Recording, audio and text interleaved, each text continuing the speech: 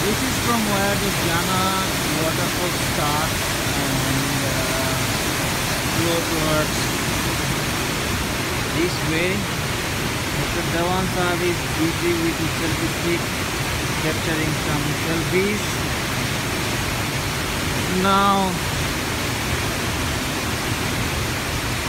and there Mr. Ansari is viewing the beauty of the nature. Some other visitors are here capturing some moments.